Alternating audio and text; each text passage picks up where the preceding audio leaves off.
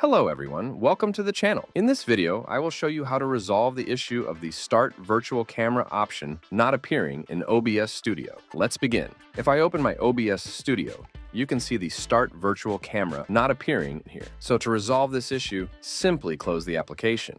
Now what we're going to do is find your OBS folder. Open the File Explorer, and in my case, it's located on the C drive under Program Files. Just navigate to that folder, OBS Studio. Then once we're here, we're gonna click on Data, then OBS Plugins. Scroll down until you find win-dshow and click on it. Here you'll see the Virtual Cam Installer.bat. Right-click on it and select Run as Administrator. And then you're going to get a little pop-up, click Yes. Then you'll see a prompt saying, press any key. So just press any key on your keyboard. That should reinstall the virtual cam on your OBS. Close everything out then launch your OBS, and boom, it's right down here. It's very simple, but for some reason, no one has figured it out, and that's how you can fix this issue. If you found this video helpful, give it a thumbs up, and don't forget to subscribe to my channel. Thanks for watching.